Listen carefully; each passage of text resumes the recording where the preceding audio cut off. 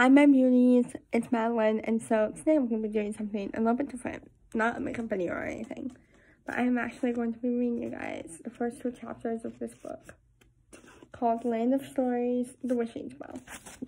So, let's get started.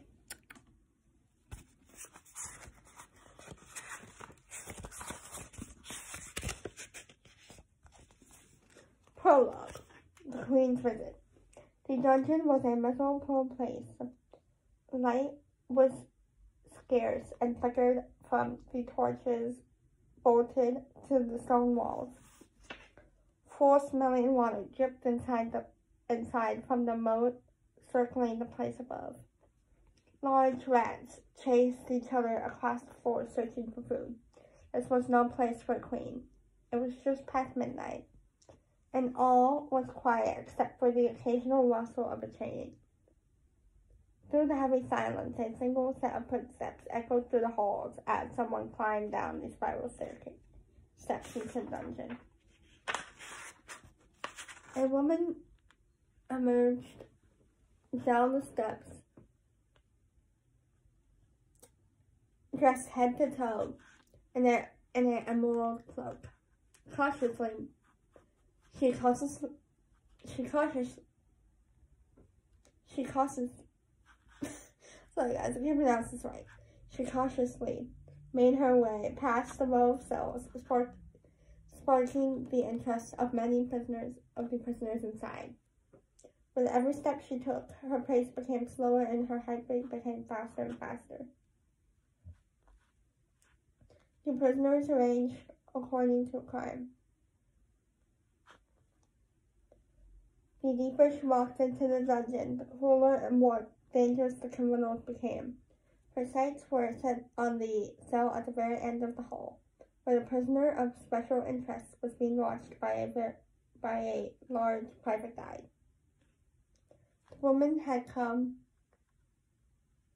to ask a question. It was a simple question, but it had consumed her many her thoughts every day. Kept her kept her lying awake most nights and was the only thing she dreamed about it with the little sleep she managed. Only one person could give her the answer she needed, and that person was on the other side of the prison's head. I wish to see, to see her, the cloaked woman said to the guard. No one is allowed to see her, the guard said. Almost amused by the request. I'm on strict orders by the royal family. From the royal family. The woman lowered her hood and revealed her face. Her skin was pale as snow. Her hair was dark, as dark as coal, and her eyes was were as green as the forest. Her beauty was known through the land, and her story was known even beyond that. Your Majesty, please forgive me, the guard, the stunned guard apologized. He quickly bent into a into an overly pronounced bow. I wasn't expecting anyone from from the palace. No apology necessary, she said, but please don't speak of my presence here tonight. Of course, the guard, the guard said, nodding. The woman faced the bars, waiting for them to be right, to be raised, but the guard hesitated. Are you sure you wish to go in, you want to go in there, your highness? The guard said. There's no telling what she is capable of. I must see her, the woman said, at, at any cost. The guard began, turning a large circular lever, and the bars of the cell rose. The woman took a deep breath and continued past them. She journeyed through, through a longer, dark, darker hallway where a series of bars and barriers were raised and then lowered. After she walked past them, finally she reached the end of the hall. The last of the bars were raised, and she stepped into the cell. The, the prisoner was a woman. She sat on a stool in the center of the cell and stared up at a small window. The prisoner waited a few minutes, a few moments before acknowledging the prisoner behind her. It was the first prisoner she had ever had, and she knew who it was without looking. There was only one person that could be. Hello, Snow White, says the prisoner softly. Hello, stepmother, Snow White replied, with a nervous quiver. I hope you are well. Although Snow White had rehearsed exactly what she was going to say, what she wanted to say, she was now finding it nearly impossible to speak. I hear that you are the queen now, her stepmother said. It is true, said Snow White. I've inherited the throne as my father intended. So, to do what I do, I owe this honor. Have you come to watch me wither away? Her stepmother said. There was such authority and power behind to her voice. It was known to make the strongest men melt like ice. On contrary, Snow White said to understand, to understand what? Her stepmother asked sharply. Why? Snow White hesitated. Why did what you did. And finally, and with this, finally, finally said Snow White saw a weight lifted off her shoulders. She finally asked a question, question that had been strongly on her mind. Half of the challenge was over. There are many things about the world that you don't understand, her stepmother said, and turned to look at her stepdaughter.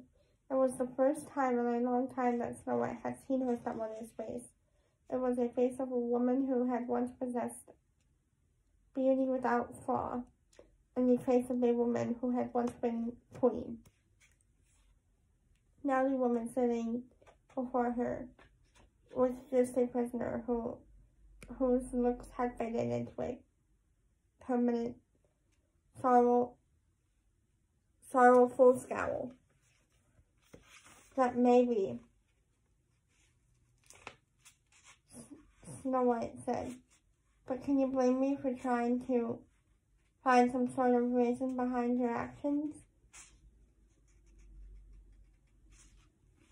The recent years of Snow White's lives had had been had become the most scandalous of the kingdom's royal history. Everyone knew the story of the fairy of the fair princess who had taken refuge with the seven dwarfs while hiding from her jealous stepmother. Everyone knew the infamous poisoned apple and dashing prince, prince who saved Snow White from false death. The story was simple, but after but the aftermath was not. Even with a new marriage and a monarchy to occupy her time, Snow White found herself constantly wondering if the theories of her stepmother stepmother's vanity were true. Something inside the new queen refused to believe that someone could be so malicious. Do you know why, why, what they're calling you out there? So I asked. Outside these, the prison, these prison walls, the world refers to you as the evil queen. If that's the word, if that's, if that is what the world has labeled me, then that is that that name I shall learn to live with the evil queen said. Once the world has made a decision, there is little anyone can do to change its mind. Snow White was astonished to how little her stepmother cared, but Snow White needed her to care. She needed to know there was some humanity left in her.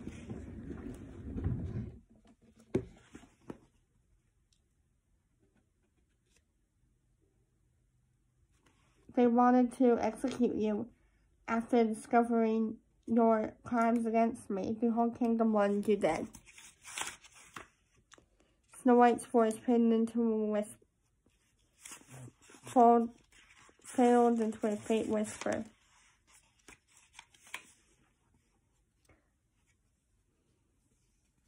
As she fought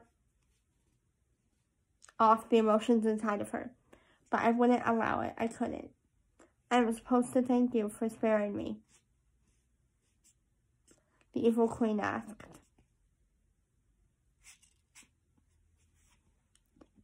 If if you expect to fall at your feet and express gratitude, you've come to the wrong cell. I didn't do it for you. I did it for myself, Snow White said, Like it or not, you're the only mother I ever have known, I have ever known. I refuse to believe that you that you are the soulless monster the rest of the world claims you to be. Whether it's true or not, I believe you, there was a heart deep inside of you. Tears rolled down Snow White's face, pale face. She had promised herself that she would stay strong. But she had lost control of her emotions once she was in her stepmother's presence. Then I'm afraid you're wrong, the evil queen said. the only soul